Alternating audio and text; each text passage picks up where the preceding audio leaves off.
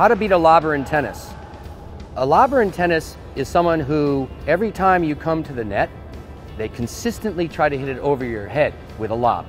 Or when you're at the baseline, you'll hit a hard shot, and the only way they can defend against that hard shot is to send up a lob. How do you beat that? Well, if you're at the baseline and you hit a hard shot and they just lob it back, hoping to restart the point, you can come in and take the ball out of the air with what I call a swinging volley. Don't let that lob bounce because you're going to just have to restart the point, back up, and restart that point. Come in as the ball is dropping, catch it at about eye level to chest level, and take a swinging volley out of the air and put it away. The other thing is that if you come up on an approach shot, a lobber will always choose the lob over your head.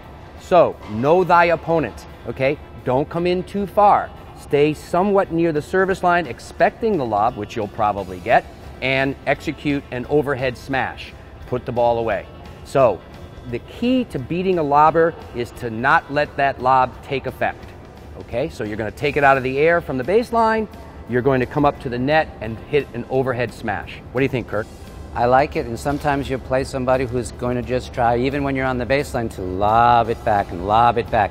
With that player, every once in a while you will back up a little bit and you have to feel a little proficient at sending a good lob. But this is the one time you could probably hit a good lob, let's say, to his backhand, maybe even with a little topspin, and that height gives you time to come in. And like Joe said, don't come too close to the net. Stop around the service line, chances are a lob is coming, and he's not going to beat you with a, a, lob if you're only on the service line when he hits it.